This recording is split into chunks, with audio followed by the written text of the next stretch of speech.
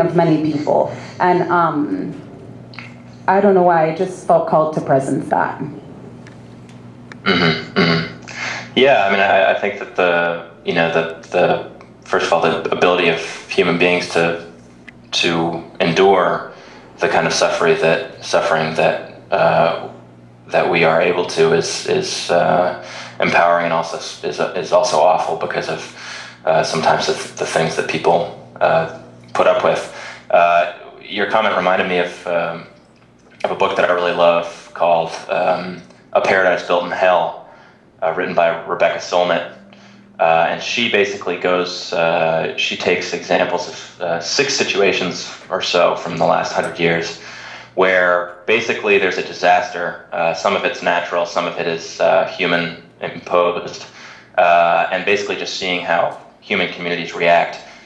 Bureaucracies, the elite, those who have, who stand to lose lots in a situation of chaos, uh, react in a very regressive way and often in a violent way. But you know, people um, who are just you know faced with this situation come together, uh, and the flexibility of individuals and the emotional connection between individuals in those situations turns out to offer this really um, optimistic and inspiring vision of what human nature really is. Um, so you, you know you've seen examples of, of, of this and uh, for instance in New York City at 9/11 uh, you know stories of people coming down and and putting themselves in in harm's way uh, are incredible. Uh, other stories from that book go back to a to an earthquake in San Francisco in 1906. Um, but I think it's true that uh, you know beautiful expression comes out of the suffering.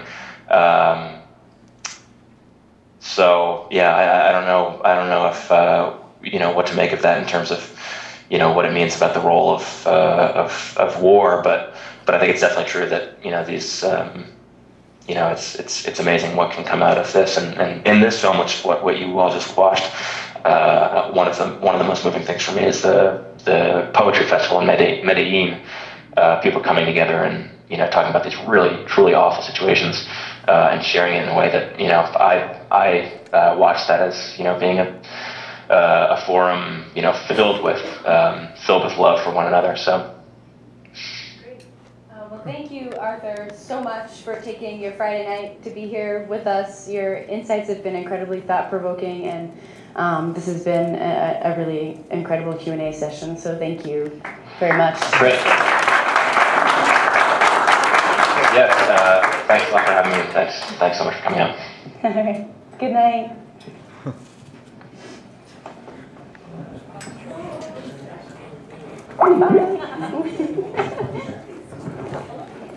that was so exciting.